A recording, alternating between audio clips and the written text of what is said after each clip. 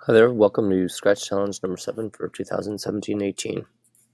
Um, for this uh, year, uh, this month's Scratch Challenge, what you're going to do is you're going to make a probability spinner.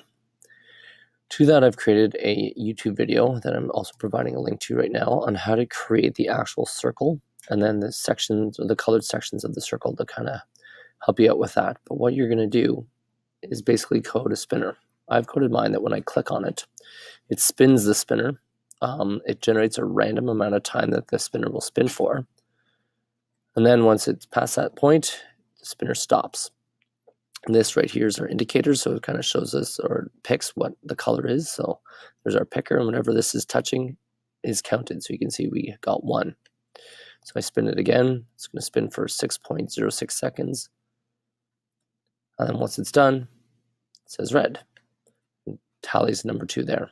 My total spins is located right here. This is kind of extra information that I just thought would be valuable to display. We got one pink. The other thing I've also coded in here is a R reset button. So the R key resets all these values back to zero and the total spins to zero. And the C key, if I press the C key, you can see it changes my spinner type.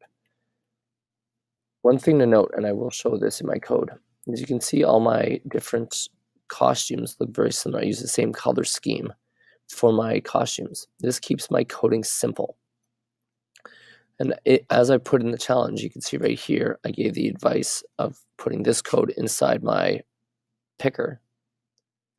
I used the colors red, blue, pink, and green in the creation of my spinner. If you wanted to use more colors, you would just add more of these blocks of code and then you'd change that color right there and whatever you clicked on would become that new color. So that's how you would kind of be able to add different colors and adjust the colors for your spinner. So create some probability spinners, play with some probabilities and see if your theoretical probability matches your experimental probability. Take care and enjoy.